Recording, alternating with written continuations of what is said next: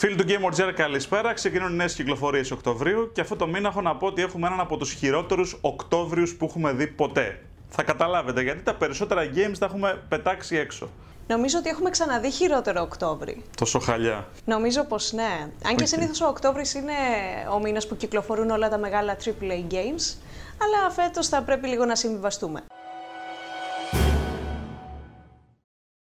Τουλάχιστον το μόνο καλό είναι ότι το upgrade του GameWorld πηγαίνει πάρα πολύ καλά. Μας έχουν μείνει μόνο τα reviews και η κεντρική εμφάνιση. Και στη συνέχεια το site θα ανέβει και θα δείτε και εσείς το τελικό αποτέλεσμα. Ναι, και περιμένουμε το feedback σας βασικά πάνω σε αυτό. Εννοείται. Θέλουμε τα σχόλιά σας και να μας πείτε και για κάποιο feature το οποίο θα θέλατε, το οποίο ενδεχομένως δεν υπάρχει στο site μας μέχρι στιγμής. Μία του μήνα ξεκινάμε με το Throne and Liberty, ένα MMORPG το οποίο θα το δούμε σε PC, PS5 και Xbox Series X και S είναι από την NCSoft, ε, το οποίο αρχικά προοριζόταν να αποτελέσει sequel του Lineage ή του Lineage, όπως το λέτε τελευταία. Σας είχαμε αναφέρει περισσότερα γι' αυτό στις νέες κυκλοφορίες του Ιουλίου, οπότε πηγαίνετε να τσεκάρετε εκεί. Τώρα κυκλοφορεί απλώς και στην Ευρώπη. Συνεχίζουμε 4 του μήνα με το SpongeBob SquarePants, The Patrick Star Game, όπου εδώ πέρα θα ελέγχετε τον Patrick στο βυθό του μπικίνι και θα παίζετε mini games, ενώ θα στείνετε το περιβάλλον σας όπως θέλετε. Την ίδια μέρα έχουμε Sword Art Online, Fractured Daydream, ένα action game την Bandai Namco και φυσικά ένα remake του Until Dawn ε, για PC και PS5 το οποίο είναι το γνωστό horror interactive drama που αρκετοί από εμάς έχουμε αγαπήσει. Περνάμε στην 3η 8 Οκτωβρίου, εκεί όπου συναντάμε το νέο expansion του Diablo 4, το Vessel of Hatred, το οποίο θα κυκλοφορήσει για όλα τα format. Και την ίδια μέρα έχουμε και άλλο ένα remake, αυτή τη φορά του Silent Hill 2 από την Konami, το γνωστό survival horror το οποίο έρχεται για PC και PS5 και είναι timed exclusive για τη Sony. Παρασκευή 11 Οκτωβρίου έχουμε και νέο Dragon Ball, το Dragon Ball Sparking, είναι ένα action fighting που εξελίσσει το gameplay της σειράς Budokai Tenkaichi και έχει 180 μαχητές από τη σειρά Dragon Ball με ξεχωριστά abilities, τεχνικές και μεταμορφώσεις. Τα cutscenes θα παρουσιάζονται από την οπτική 8 χαρακτήρων ενώ υποστηρίζεται και multiplayer. Την ίδια μέρα έχουμε και νέο Transformers, αλλά το συγκεκριμένο είναι Racing, Λέγεται Transformers Galactic Trials, κυκλοφορεί για όλα τα format. Και συνεχίζουμε με το Undisputed, ένα πολύ ωραίο boxing game, ε, το οποίο έρχεται από την Deep Silver, που θα έχει 70 γνωστούς boxer, άντρες και γυναίκες, 60 είδη γροθιάς και 50 attributes και traits. Θα υπάρχουν μέχρι και επώνυμοι προπονητές και ατζέντιδες, αλλά και ρεαλιστικοί μηχανισμοί boxing.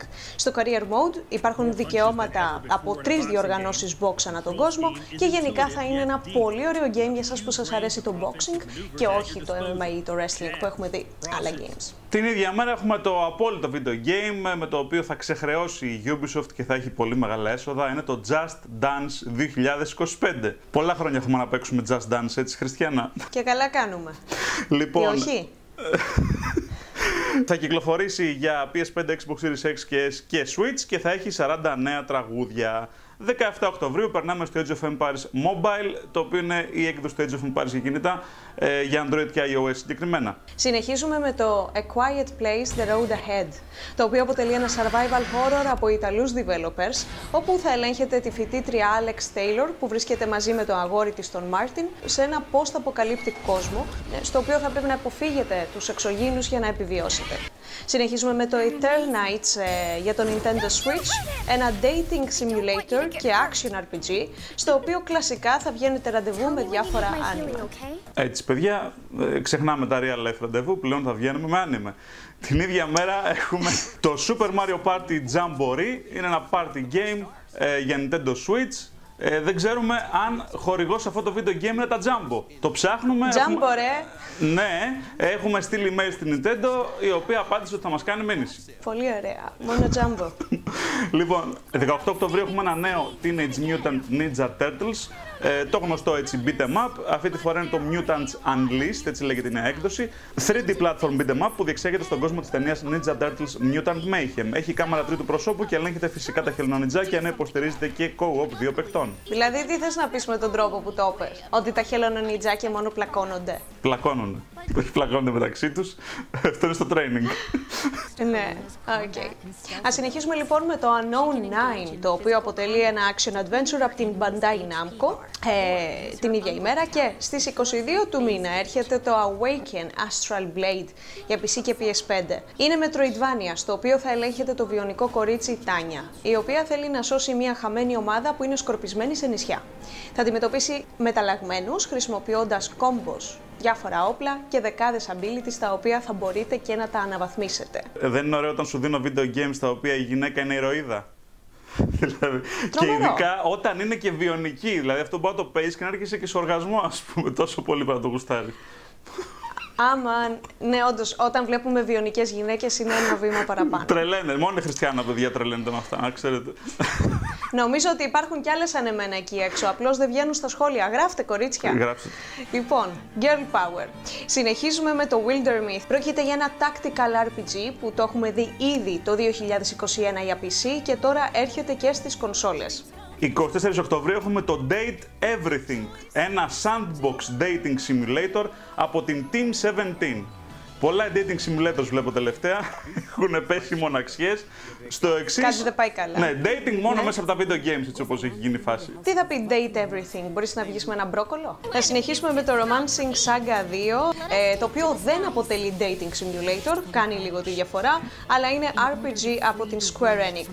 The Smurfs Dreams, ένα νέο platform adventure, έρχεται με τα γνωστά στρουμφάκια για όλα τα format. Και περνάμε στο Voidrot, ένα Metroidvania στο οποίο αντιμετωπίζετε δαίμονες, θα πρέπει να βρείτε όπλα, buffs και πάνω από 30 relics και souls, να τα κάνετε equip και να διαμορφώσετε το playstyle σας. Και επιτέλους ακολουθεί ε, ένα από τα δύο κορυφαία games του μήνα. Επιτέλους. Call of Duty Black Ops 6. Δεν περίμενα ποτέ ότι θα έλεγα αυτό τον αριθμό μετά από το Black Ops. Okay. Επιτέλους λοιπόν έρχεται, γιατί όταν βλέπουμε Black Ops, ξέρουμε ότι βλέπουμε ποιοτικό παιχνίδι. Έτσι, και μετά περιμένουμε μετά από δύο χρόνια να ξαναδούμε κάτι τέτοιο. Στο νέο Black Ops λοιπόν συνεχίζουμε μετά τα γεγονότα του Cold War και διεξάγεται το 1991. Η ιστορία επικεντρώνεται στους πράκτορες ειδικών στρατιωτικών αποστολών Troy Marshall και Frank Woods. Στο campaign θα υπάρχουν διάφοροι τρόποι για να ολοκληρώσετε τις αποστολές σας. Νέα στοιχεία μπαίνουν στο gameplay.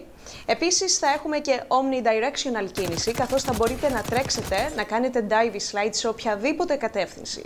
Θα υπάρχουν επίσης τα intelligent movement settings, όπου θα αυτοματοποιούν συγκεκριμένες ενεργειές σας όπως το τρέξιμο. Το multiplayer θα έχει το Zombies Mode, στο οποίο παίζεται όπως ξέρουμε co-op 1 μέχρι 4 παίκτες, ενάντια σε κύματα waves από zombies, αλλά και τα γνωστά multiplayer modes με 16 νέους χάρτες.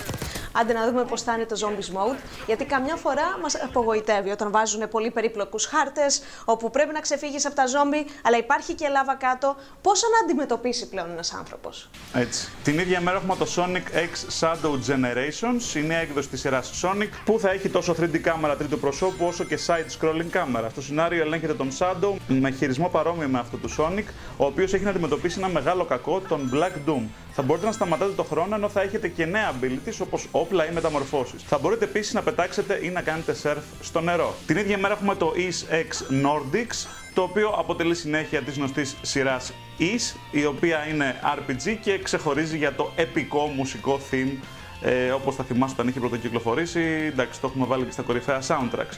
Είναι ένα action RPG από την ήχον Falcom. Μάλιστα. Και επιστροφή πλέον στο Life is Strange. Εδώ έχουμε το Double Exposure που κυκλοφορεί αυτό το μήνα.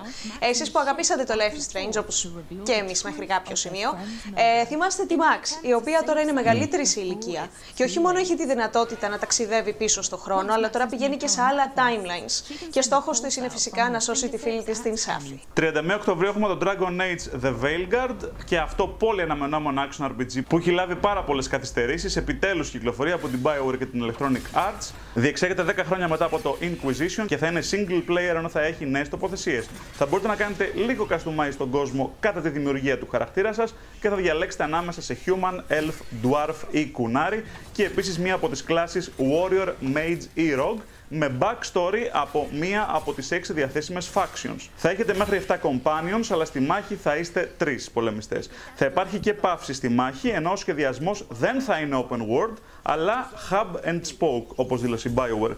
Τέλος, οι companions σας θα είναι pansexual, δηλαδή ό,τι κινείται εκτελείται. Πώς νιώθουμε γι' αυτό; Ε, είναι το πιο ερωτικό βίντεο νέων κυκλοφοριών που έχουμε βγάλει ποτέ με τόσα που έχουμε αναφέρει. Από dating simulators, έχει pansexual τα πάντα. Πώς να νιώθουμε; Οπότε μάλλον δεν είναι τόσο κακός αυτός ο μήνας, ε. Εντάξει. Άντε για να κλείσει και καλά. Να πούμε και αυτό, Horizon Zero Dawn Remastered για PC και PS5, για να χαρείτε λίγο αν δεν σας φτάνει το Call of Duty Ναι. και το show dating. Εντάξει, λες και δεν το είχαν παίξει το πρώτο, αυτό περιμένανε. Ε, πάντως ε, και στο Mass Effect οι χαρακτήρες ήταν bi, αλλά δεν υπήρχαν αυτά τα woke επιφωνήματα τύπου pansexual, asexual, omnisexual. κάτι. Πρέπει ε, να δίνει εξετάσεις ο άλλος για να καταφέρει να, να μάθει όλα τα pronouns που έχουν φτιάξει τέλος πάντων. Εν πάση περιπτώσει, νέες κυκλοφορίες με λίγο woke fiesta ήταν αυτό. Ε, ποια games θα παίξεις αυτό το μήνα, δεν ρωτάω. Black Ops 6 σίγουρα.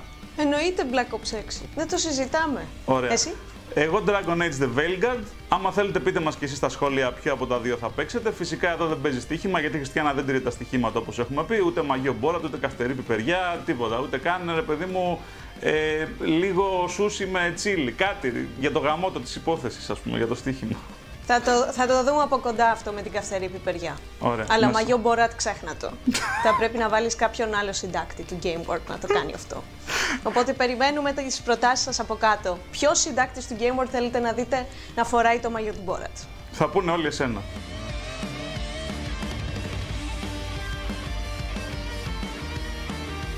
Και τα λέμε φυσικά στο επόμενο βίντεο. Όσοι είστε νέοι, κάντε subscribe και τα σχετικά. Καλό μήνα, παιδιά.